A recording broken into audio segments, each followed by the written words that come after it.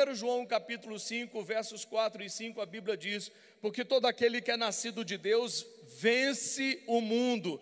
Vamos dizer apenas a parte A, porque todo aquele que é nascido de Deus vence o mundo. Ah, pastor, eu não consegui, não teve jeito, eu caí e tudo. Porém, a Bíblia está declarando que aquele que nasceu de novo, aquele que teve uma experiência real, única, pessoal, verdadeira com Cristo, essa pessoa possuída pelo Espírito Santo, ela terá poder de Deus para vencer as adversidades desse mundo. Porque é o que a Bíblia está dizendo. Todo aquele que é nascido de Deus faz o que, irmãos? Vence o mundo. E esta é a vitória que vence o mundo. Qual é a vitória que vence o mundo? a nossa fé, aquilo que você acredita, aquilo que você ratifica. A fé, ela está ligada em todas as áreas da nossa vida. Nós dependemos dela para tudo, irmãos. Nós precisamos usá-la 24 horas por dia.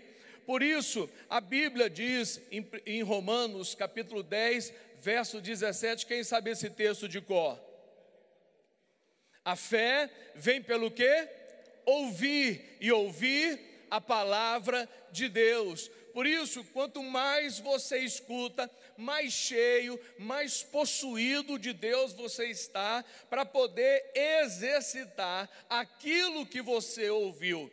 Tiago, quando escreve, ele diz: Tornai-vos, pois, praticantes da palavra de Deus e não somente ouvintes, ou seja, essa história de crente teórico que sabe muito texto de cor e pratica é, e pratica muito pouco, Tiago está dizendo: não tem valor algum você só se encher de informação e conhecimento, mas não aplica, não torna isso viável, não torna isso prático para você. Isso não tem sentido algum, você saber muita Bíblia e aplicá-la pouco. Sabe o que, que o salmista declarou no capítulo 119? Ele disse: Guardo no meu coração a tua palavra. Para que, que ele guardava a palavra? Para não pecar contra Deus. O que ele estava dizendo? Eu tenho a palavra guardada na minha vida, no meu coração. No momento necessário, numa circunstância, numa determinada situação, eu posso aplicar a palavra de Deus. A Bíblia diz no livro de é, Provérbios que o temor do Senhor nos priva, nos livra de pecar. Quando o temor de Deus está acendrado, está incrustado dentro de você, você teme a Deus e por isso não consegue pecar contra Ele. E a palavra temor, segundo o dicionário Aurélio, é medo de Deus. Quantos tinham medo dos seus pais na infância? Levante a mão. Irmão, eu cansei de apanhar, eu tinha pavor. Meu pai dizia: não saia de casa. A hora que ele fazia a curva, ia trabalhar, eu saía, jogava bola a tarde toda. Quando ele chegava, eu sabia que eu ia apanhar. Ou seja, teve uma época da minha vida que eu estava perdendo o temor, o medo. Só que aí a surra ia aumentando e o medo junto com ela. Quando ele dizia: se você fizer, eu já dizia, eu não vou fazer, porque eu tinha medo de levar uma surra pior ainda. Então, quando você tem medo ou temor de Deus, isso impede você de pecar com Ele, porque você sabe as consequências que a sua atitude vão gerar na sua vida, sim ou não? Então, por isso, você não peca. E a Bíblia continua dizendo uma série de coisas acerca da fé. Fé significa no original confiança, fidelidade e esperança. Essa confiança, irmão, eu disse semana passada, é muito interessante. Tirou? Aproveita. Que essa vai para o Instagram da igreja, depois você pode consultar lá. É, A fé, na sua etimologia, significa confiança. O que mais? Fidelidade. O que mais? Esperança. Partindo para o sentido do que significa a fé, da sua etimologia. Confiança. Como nós confiamos em alguém com quem não nos relacionamos, com quem não estamos perto sempre. Como você pode confiar em Deus se você nunca está próximo dele, nunca sabe o que ele pode fazer em seu benefício, em seu favor? Então, a fé requer de mim, de você, uma confiança plena. Em quem nós confiamos, irmãos? De maneira geral. Hã? Pai, mãe, amigos, recursos, você sabe que pode fazer determinada prestação porque você tem aquele recurso, então você acaba confiando naquilo. Então, muitas vezes, nós não temos pavimentado a nossa fé em um alicerce sólido e verdadeiro, que é a confiança, essa certeza de que Deus de fato é capaz de fazer aquilo que Ele prometeu fazer na nossa vida. Olha o que a Bíblia diz: Deus não é filho do homem para que minta, e nem filho do homem para que se arrependa. Irmãos, quem confia nisso? Só quem anda próximo dele e acredita que de fato isso é verdadeiro, isso é real. Se você não confia em Deus, dificilmente você vai acreditar literalmente nesse verso, que Ele é poderoso para cumprir o que prometeu. O texto de Hebreus, capítulo 11, verso 1, a Bíblia diz: Ora, a fé é o firme fundamento das coisas que se esperam. Existe uma base, um fundamento dessa esperança. E também, semana passada eu expliquei a diferença entre a esperança humana e a esperança divina. A esperança humana, ela pode ser frustrada, ela pode ou não acontecer, ela pode ou não dar certo. Por exemplo, o meu time que eu torço joga hoje. Eu tenho esperança que ele saia com um resultado positivo, esperança humana, mas ao final do jogo, o meu time pode sair perdedor. Ele pode perder o jogo de hoje, esperança. Porém, quando a Bíblia fala da esperança divina, ela diz que a esperança divina, essa jamais poderá ser frustrada. Ela dá uma ideia de certeza, de convicção de que aquilo vai acontecer. A Bíblia diz, quando está falando do amor, no capítulo 13 do livro de 1 Coríntios, falando no último verso, ela diz: Agora, pois, permanecem a fé, a esperança e o amor.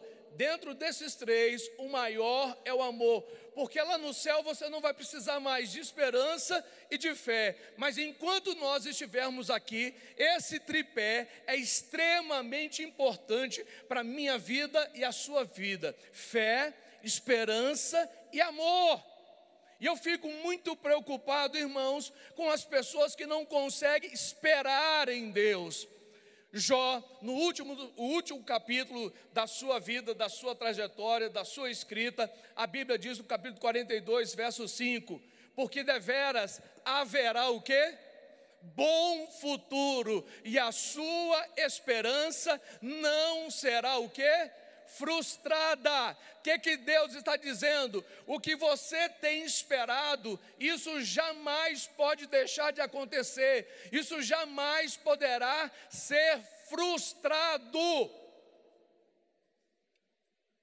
que, que você tem esperado em Deus que semana após semana você se frustra? Você se impacienta, você deixa de acreditar, você duvida. Irmãos, a dúvida é o oposto, é a antítese da fé. São duas coisas diametralmente opostas entre si: fé e dúvida. Elas estão em lugares completamente distintos. Quem acredita não pode dar espaço à dúvida. a falta de esperança. E aí, por isso, a Bíblia também diz no livro de Hebreus, no capítulo 11, onde ela lista os heróis da fé, e a palavra de Deus nos diz que sem fé, digam, sem fé, é impossível agradar a Deus. Ou seja, quando você deixa de exercer a sua confiança, a sua esperança nele, você está desagradando-o. E quando você o desagrada, você está pecando contra ele porque ele está dizendo que sem fé é impossível, pastor, é impossível ter fé em todas as situações, em todos os momentos. Quantos acham que Deus é injusto? Você acha que ele lançaria uma proposta dessa, sabendo que o homem não seria capaz de cumpri-la? Não daria conta de cumprir, jamais, irmãos. Deus é extremamente justo e Ele está dizendo: sem fé, sem acreditar em mim, sem duvidar de mim, é impossível me agradar. Impossível. Aí você tem dor de cabeça, você exerce fé você tem um laudo médico não, tá, não tão favorável, já, não, isso é mais difícil do que uma dor de cabeça. Não sei se a minha fé comporta isso aqui. Eu não sei se eu consigo ancorar a minha confiança em Deus nesse câncer. Irmão, dor de cabeça e câncer para Deus é a mesma coisa. Basta uma palavra dele e tudo acontece. Nós é que estabelecemos limite para a ação de Deus. Nós é que dizemos: isso é fácil, isso é difícil. Porém, a Bíblia diz: a coisa demasiadamente difícil para Deus, a coisa demasiadamente difícil para Ele, é difícil para mim, é difícil para você, porém, para Ele, tudo é muito simples, irmãos. A Bíblia diz que o mundo foi criado pelo poder da palavra. Ele dizia e a coisa acontecia: haja luz e houve luz, haja terra e houve terra, haja separação da terra e da água e houve separação. Para ele, tudo sempre foi muito simples. Para as crianças, tudo é muito simples, irmãos. Eles não têm noção de quanto custa um videogame, de quanto custa um joguinho para abastecer o videogame. Pai, me dá um videogame. Eles não têm noção de valor monetário da coisa. Então, para eles é tão simples dar um videogame como é simples almoçar. Por isso, Jesus disse que o reino de Deus era das crianças, porque elas não estabeleciam limites para Deus. Aí nós vamos crescendo com os nossos traumas, com as nossas dificuldades, com os nossos problemas, com as nossas dúvidas e lançamos isso para Deus. Aí você vê o seu filho, eu quero ser médico, você está louco? Você já viu quanto é a mensalidade de um curso de medicina? Sete, oito mil, fora livros didáticos, fora isso, fora aquilo. Impossível. Arruma outra profissão. Você dá um banho de água gelada nessa criança. Ele diz: quando a menina, por exemplo, quando eu completar 15 anos, eu quero a minha festa nos Estados Unidos. Você está louco? O máximo que a gente foi é em Caldas Novas. Para de sonhar essas loucuras. É claro que isso não vai acontecer. Você mata o sonho dessa criança inocente. Deixa esse menino sonhar. Irmãos, Deus é poderoso. Na outra semana, nós vamos estar pregando, daqui duas semanas, nós vamos estar pregando nos Estados Unidos. E vamos levar o nosso filho e tudo. E minha filha faz aniversário no mês de julho. Ela casou em dezembro e em dezembro ela falou: de presente eu queria uma viagem aos Estados Unidos. Aí o marido dela, meu genro, impossível isso acontecesse, tira isso da sua cabeça. Falou: não, eu não vou tirar porque eu acredito em Deus, Deus pode me levar. Eu sei, irmãos, que eu tinha uma milhagem lá guardada, baixou uma promoção e eu bilhetei a passagem dela por milhagem, ela vai conosco agora, de milhagem, sem pagar nada, porque Deus honrou o que ela havia pedido. Qual é o tamanho do seu sonho? Qual é o problema de você sonhar com as coisas que Deus pode? A Bíblia diz: Deus pode todas as coisas. Deus pode todas as coisas. O único desgaste que você vai ter é ter que sonhar, é ter que deitar e começar a pensar em alguma coisa grande, mega grande.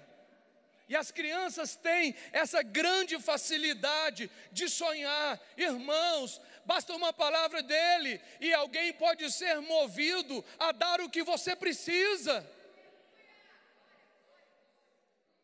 A mula falou, irmãos. Uma mula falou. Não havia profeta ao lado de quem? Balaão. Balaão ia cometer um equívoco.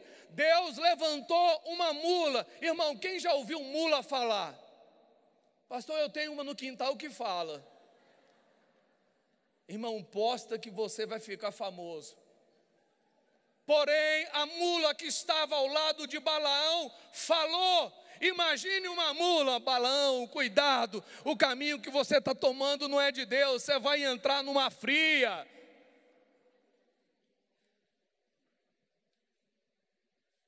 Irmão, um grande peixe, um lambari, um tambaqui, um tubarão, uma baleia, a Bíblia não especifica quem engoliu Jonas, diz que foi um grande peixe. Se foi uma baleia, a garganta dela é muito pequena, jamais passaria um homem.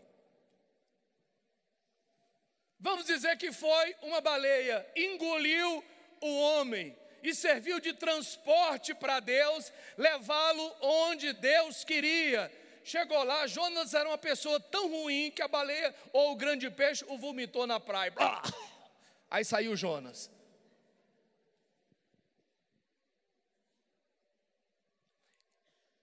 Não sei por que, que a gente duvida de Deus.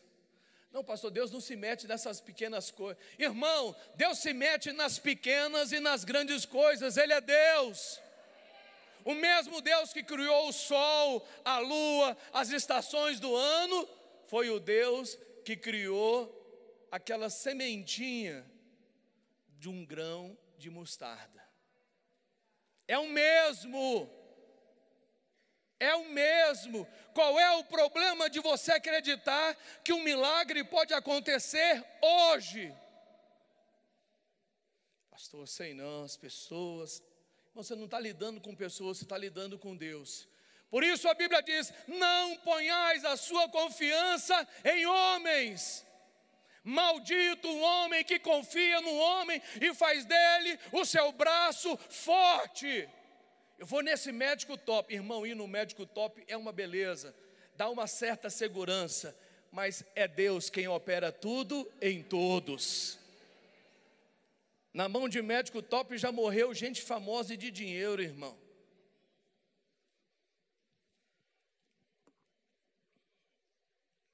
A fé, como dom, ela não vem de nós mesmos.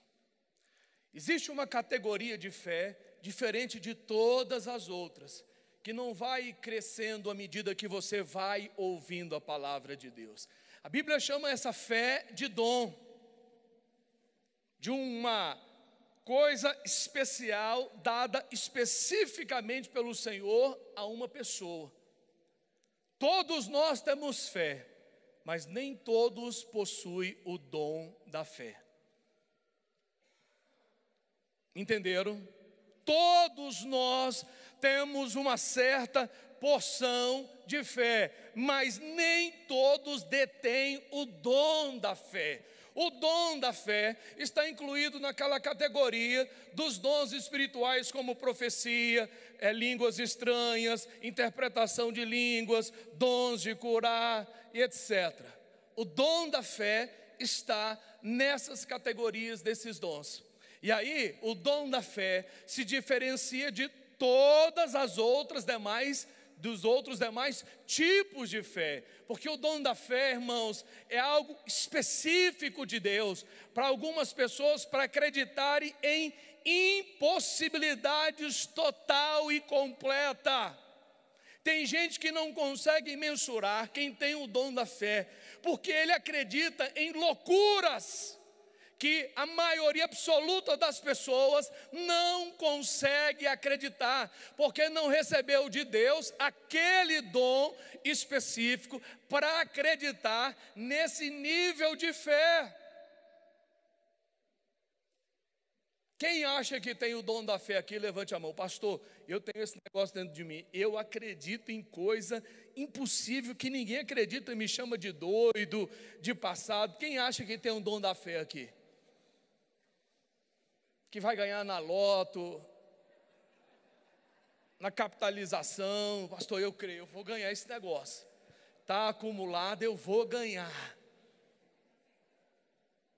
Quem, quem tem o dom da fé aqui, fica de pé. Fala, assim, pastor, eu tenho esse negócio. Eu creio em impossibilidades.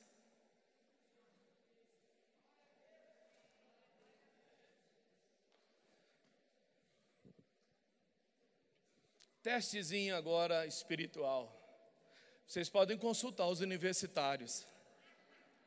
Andresa, o que caracteriza esse dom de, da fé que você, eu vou dizer, possivelmente recebeu, porque vai depender da sua colocação e do que você for dizer. Por exemplo,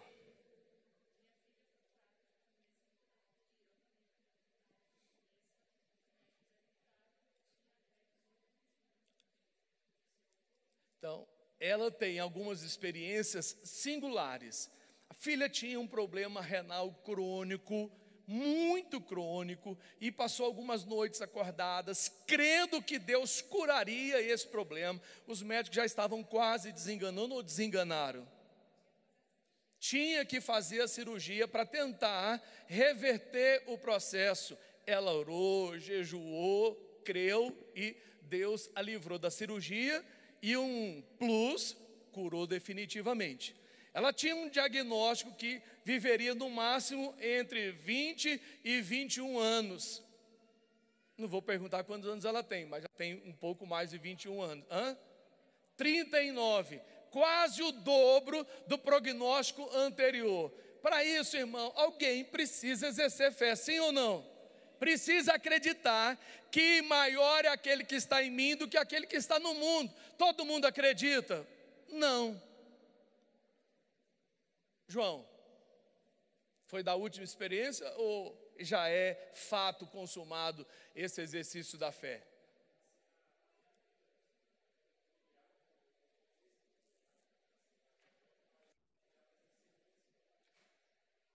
Não, você acredita em tudo. Se eu disser, irmão, eu ganhei, sem abrir a boca, tampando com o microfone, eu ganhei uma arcada dentária de ouro de ontem para hoje.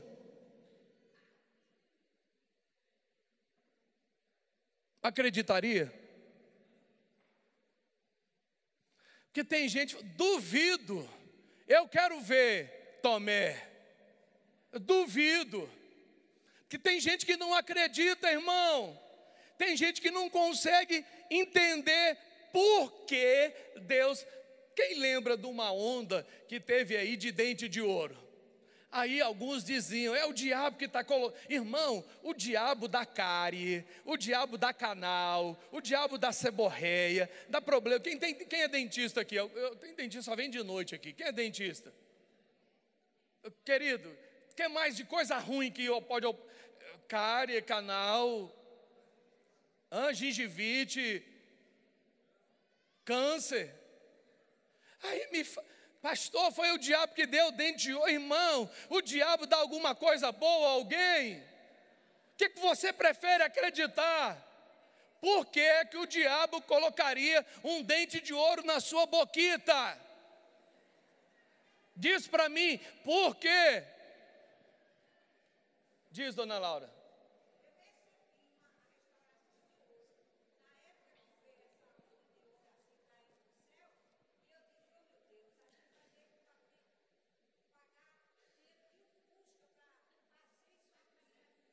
Fusca era barato, irmãos.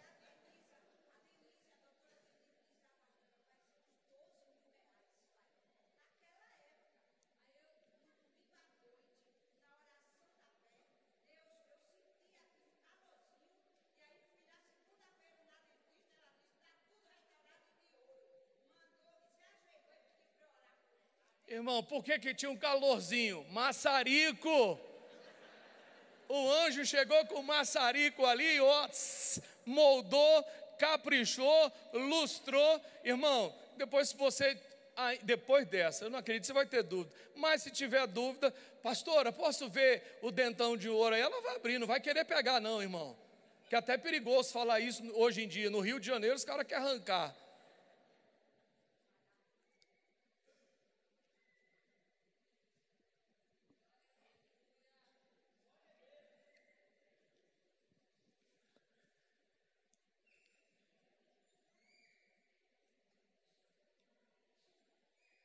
Pastor, eu creio de vez em quando. Parabéns.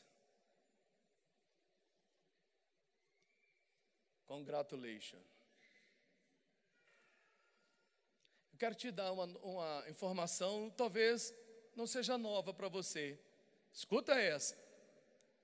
Para você que crê de vez em quando, pode sentar quem tem muita fé aí, que depois nós vamos exercer e vamos orar por quem não tem. Eu quero trazer uma informação para você que a Bíblia diz. Presta atenção. Até até os demônios creem e estremecem. Até os demônios creem e estremecem. Irmão, eles viveram com Deus. Eles têm uma grande vantagem que eles sabem quem é Deus e o que Deus é, pode fazer. Olha a enorme vantagem. Por isso, eles são obrigados a crer e a estremecer diante do poder de Deus. Mas isso não passa de uma mera vantagenzinha, porque até os demônios creem e estremecem. Quem já estremeceu diante de Deus? Tem gente que na hora do louvor, naquele culto poderoso, fica duro igual o pau. O demônio, até estremecer, ele estremece. Então, irmão, não ser avivado deve ter algum prejuízo, não ser avivado. Esse negócio de não querer bater palma, é besteira porque o demônio estremece. Então, irmãos, eu quero fazer um parênteses assim aqui. É, meu filho, quando estudou fora, o Fabrício também, a gente sempre ia na mesma igreja, numa igreja de negros, descendente de afro-americanos, e é igual os filmes, as pessoas vão muito bem arrumadas, de chapéu, daqueles ternos bem coloridos que eles gostam e tudo, quase 10 mil pessoas, o pastor pregando, na hora do culto, as mulheres ou os homens, irmãos, saem correndo no meio dos corredores, levantando o chapéu, levantando as mãos, gritando glória a Deus, aleluia, e grita e faz aquele negócio. A primeira vez que eu vi aquilo, foi: meu Deus, o que, que é isso? E aí, e aí não é porque hoje está frio, que está todo mundo quietinho, não, na neve lá, irmão, todo mundo pulando, todo mundo gritando e, to, e correndo no meio dos corredores e dando glória a Deus e aleluia. Aí a gente acha que está fazendo muito, vindo à igreja de manhã e ficando assim.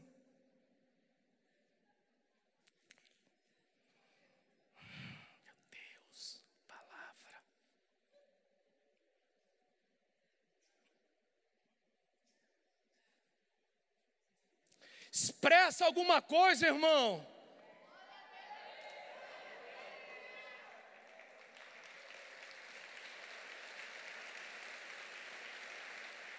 Mostra como era lá, Fabrício, quando a gente estava lá assistindo os cultos.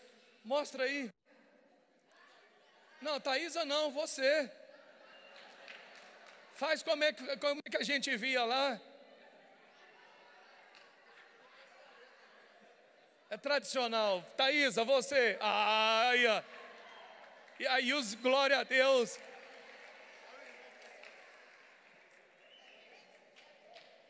Aí o pastor está pregando, irmão. Ao invés do cara só ficar sentado, o negócio é tão bom que ele fica de pé e fica incentivando o pastor. Continua, prega mais. Meu Deus, que palavra! Aleluia! Aí a igreja inteira é incendiada. Ou eu estou sem unção, ou você está sem unção. Porque a gente não está vendo ninguém gritar, ninguém falando glória a Deus, nem aleluia.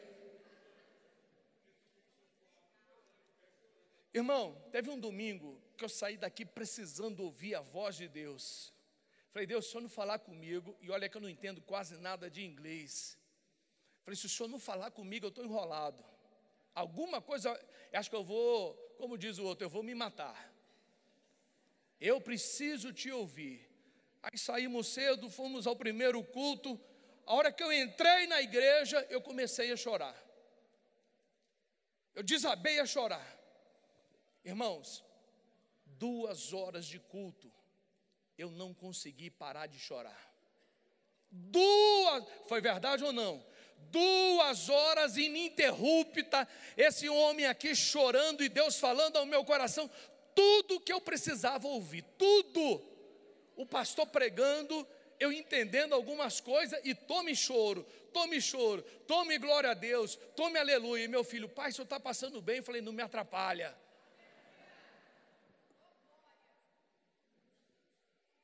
Irmão, você pode ver, a hora que as pessoas começam a dar glória a Deus, contagia. Não é só coisa ruim que pega, não, coisa boa pega também. Eu duvido se 20, 30 pessoas correrem, se no outro domingo não vai ter 100. Eu duvido se 100 pessoas aplaudirem, se no domingo que vem não terão 200. Eu duvido. Aí você fica assim, ai meu Deus, para que isso, pastor? Irmão, a Bíblia diz que a fé ela é usada como escudo, como protetor. Efésios capítulo 6, quando fala da armadura, a Bíblia está dizendo que a fé, ela apaga os dardos inflamados do maligno. Já pensou você usar a sua fé contra palavras contrárias, contra incredulidade, contra palavras malditas, contra maldições, usar a fé como escudo contra todas essas coisas. Não vai dar certo. Você usa a fé. Maior é aquele que está em mim do que aquele que está no mundo. Pode todas as coisas.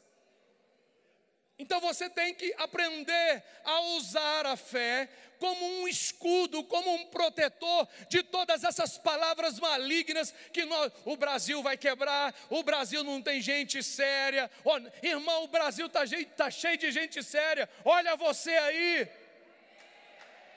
Quando você escuta no telejornal algo contra a nação, você tem que combater na hora no seu espírito.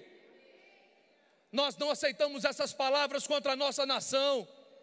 Por isso eu quero fazer um parêntese. As mulheres estão fazendo uma campanha de usarem aquelas pulseirinhas de Pandora com os berloquezinhos.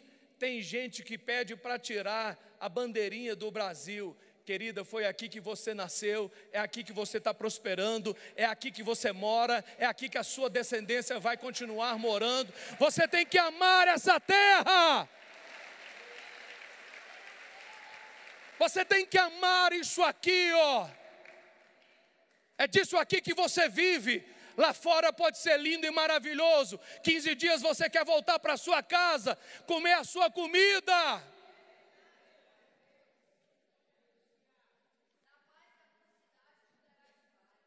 Como? Ó, meu, eu disse semana passada, ó meu núcleo. Já viu o computador com quatro núcleos? Eu tenho quatro núcleos.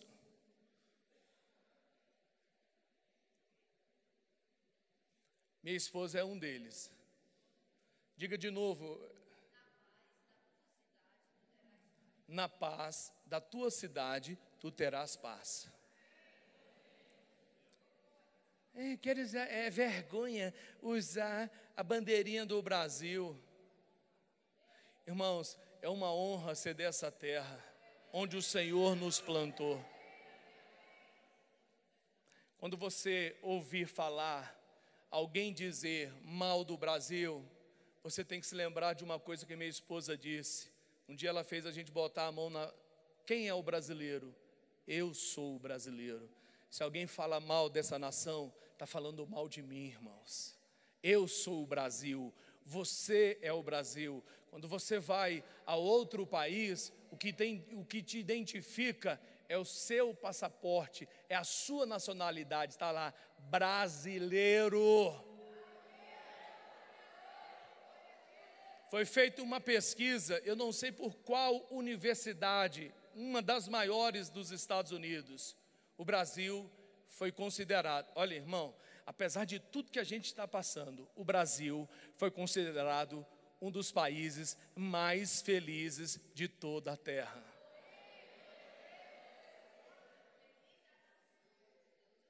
Ó meu núcleo, feliz é a nação cujo Deus é o Senhor.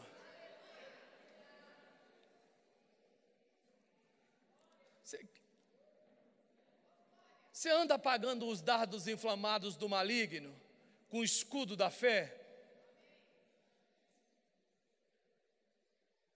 João, qual é o nome daqueles bichinho que agora está no cinema? Avengers? A, a, Liga da Justiça? Você não é o Capitão América, não, irmão.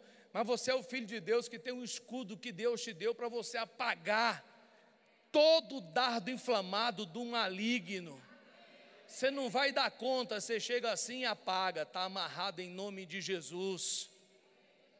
Não vai dar certo. O que? Já deu. Aquele meu sonhozinho de comprar uma motinha deu certo, irmão. De vez em quando estou andando aí, estou lembrando e amarrando. Aí um dia uma pessoa falou, pastor, e se eu morrer? Eu falei, irmão, um dia eu vou morrer, eu não sou Highlander. Vou viver a vida inteira. Um dia eu vou morrer. Mas se morrer de moto? falei, irmão, eu poderia morrer de moto, poderia morrer de carro, poderia morrer de um escorregão. Eu só sei de uma coisa: eu morro no dia e na hora de Deus. Eu só morro no dia e na hora de Deus. Um dia nós estávamos viajando, nós pegamos uma turbulência tão grande que eu falei: Deus, Hoje eu só acredito que eu vou sair dessa porque eu tenho promessa. Um dia, muitos anos atrás, eu recebi uma profecia de um pastor que eu considero muito. Ele disse: Você ainda vai cuidar dos filhos dos seus filhos. E naquela época nem neto eu tinha. Na hora daquela turbulência que até a gente saía da cadeira, aí eu me lembrei dessa promessa: Senhor, Tu és Deus que cumpre promessas eu não tenho nem um neto ainda, eu nem cuidei dele ainda, eu nem dei nada a ele ainda. Eu vou sair dessa. Eu vou sair porque o Senhor me prometeu que eu cuidaria dos meus netos. Estou aqui hoje para contar que eu cuido dos meus netos. Irmão, o que, que é grande demais para você? A fé resolve. Eu, nesses últimos tempos, eu tenho pedido a Deus, Senhor, eu quero aprender a ser um homem de fé. Eu preciso, porque a fé envolve tudo, irmão. A fé envolve tudo. Para eu estar aqui, eu preciso ter fé. Fique de pé no seu lugar.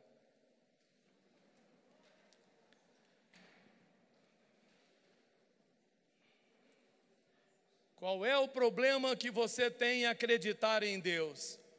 Quem tem desafios aqui, levante a mão.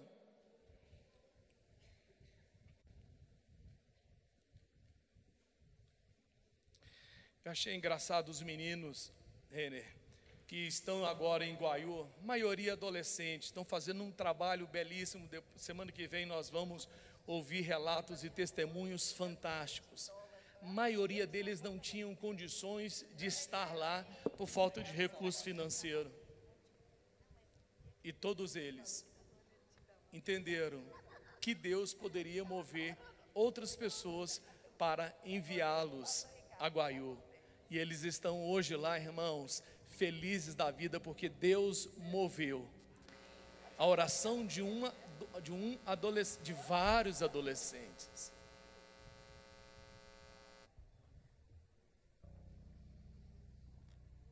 Qual é o seu sonho? Impossível. Quem não podia? Regiane está aqui. Está no Kids. Contar um pedacinho da história dela. Cansou de vir. Pastor, pastor, ore por mim. Eu quero ter filho e não posso. Aí, será que é pecado fazer inseminação? Eu falei, minha filha, usa o recurso que Deus te deu. Teu marido tem dinheiro, manda ver. Aí fez inseminação. Aí, três semanas, detectou lá o abençoado. Quarta semana, perdeu. Ah, chorou. Aí daqui a pouco passa um tempo, pastor, pastora, ora de novo que eu estou querendo fazer. Irmão, e esse negócio não é barato. Ora aí e tal, para agora vingar e eu conseguir ter o filho. Fez a segunda inseminação. Deu certo? Não, não vingou. Aí ela falou: Não vou fazer mais isso, não vou gastar mais dinheiro. Se Deus quiser, Ele pode. Vai fazer três, fez três anos agora. Três anos, sem gastar um real. Miriam também não podia. Deus deu de graça. Não precisou nem. A pastora orou, ela não precisou nem fazer inseminação, não gastou um real e Deus deu. Queridos, a Bíblia diz: Deus abre a madre e Deus fecha a madre. Deus abre portas e Deus fecha portas.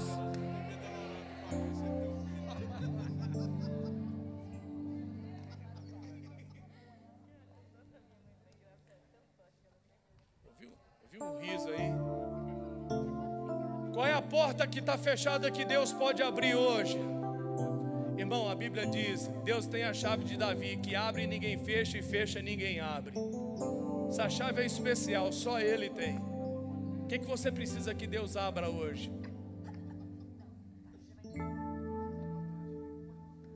Um dia eu entreguei uma palavra a uma pessoa e disse a ela: falou, meu irmão, Deus está fechando a sua cova hoje. Ele falou: como é que é? É, você ia morrer. Deus está fechando a sua cova hoje. Aí ele começou a chorar. Ele está aqui até hoje. Mas ele ia morrer naquele dia. E Deus disse: Estou fechando a sua cova hoje.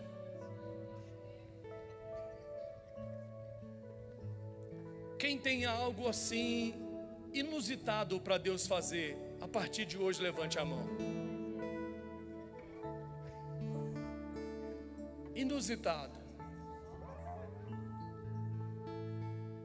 Ricardo, Deus tem o inusitado.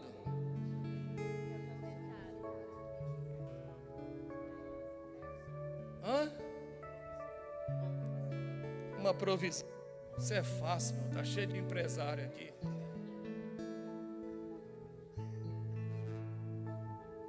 O que, que a senhora tem inusitado para Deus fazer hoje?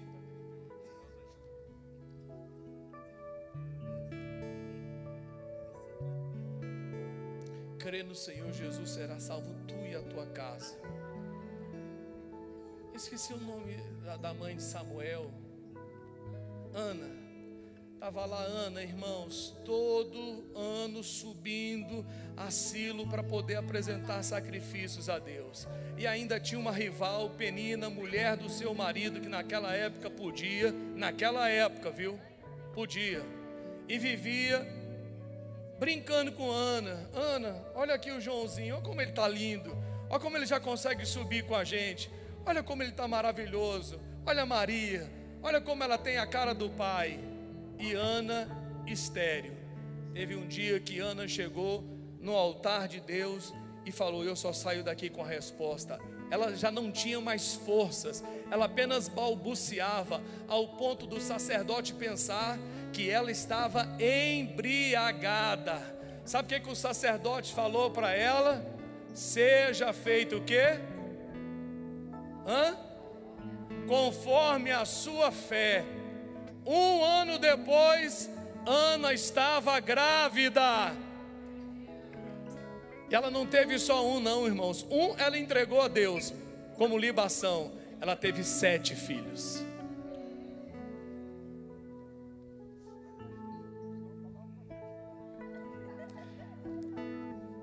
Está rindo? Ou eu estou ouvindo? Hum? Ah, você. Eu tive os dois primeiros filhos tranquilo. Primeira gravidez, meu filho nasceu normal. Segunda gravidez, minha filha nasceu com um pouco mais de dificuldade. Terceira gravidez, minha esposa abortou. Quarta gravidez, minha esposa abortou. Quinta gravidez, minha esposa abortou. Quando nós estávamos no Egito, no Monte Sinai, Deus me tomou e falou: Ora pela sua mulher peça para mim tirar é, esse mioma no útero dela e ela vai engravidar. Na frente de todo mundo, eu falei: ajoelha aqui agora, num frio. Eu falei: agora, mioma, retroceda em nome de Jesus. Minha mulher vai engravidar. Vem cá, meu filho. E aí, para que tudo que Deus faz é perfeito, olha que menino lindo, irmãos. Depois da, da terceiro, do terceiro aborto, Deus é fiel para poder cumprir o que prometeu. Do terceiro aborto, você que está querendo engravidar, irmã, cuidado, até um beijo do seu marido vai te engravidar.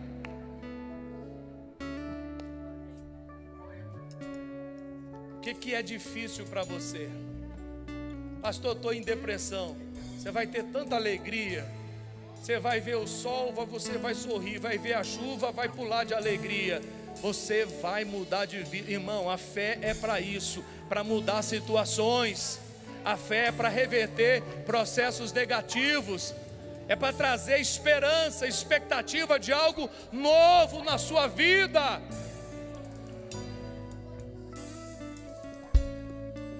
Está me vindo um texto agora da palavra de Deus do salmista: cri, por isso falei. Então eu queria que nessa manhã você fale o que você deseja. Porque a gente não pode só desejar, a gente tem que falar. Porque quando a gente crê, a gente fala. Se a gente acredita numa coisa, a gente sai espalhando aquela notícia. Então comece a profetizar também. A fé também tem ação, como o pastor tem nos ensinado. Crie, por isso falei. Fale o que, é que você quer nessa manhã, porque nós vamos viver milagres hoje aqui, eu creio, em nome de Jesus. Mas vocês já perceberam uma coisa? Estou vendo o Bruno ali, que é o dono da Zebu. Depois você pode jantar hoje à noite aqui na Zebu, aqui na pizzaria. Bruno, já reparou que todo mundo no Universal é empresário? Todo mundo lá vira empresário? Porque eles são bombardeados na fé. Você pode, você vai conseguir e vira empresário. É inacreditável. Eles acreditam. E semana passada eu disse que a palavra ministrada, ela precisa ser misturada com a fé. Crie, por isso falei. Você só fala no que acredita, irmão. O que, é que você precisa falar hoje para Deus? Eu acredito. Meu marido vai se converter. Vai virar um cordeirinho aqui, vai ser auxiliar do pastor, vai andar com o pastor, vai ser amigo do pastor, vai orar por essas pessoas todinhas. Crie, por isso falei. Feche os seus olhos. Agora é manhã de exercitar a palavra de Deus. Irmão, você tem um Deus maravilhoso que te ama, que é poderoso, que é suficientemente capaz de abrir portas que você não imagina por amor a você. Não é porque você jejua, ora, é bonzinho, não. É porque Deus te ama. A gente não dá coisa aos nossos filhos só porque eles passaram de ano. É porque nós os amamos. Deus abre portas de emprego. Você que está desempregado, creia nesse Deus poderoso e amoroso, o Deus que promove, o Deus que acende.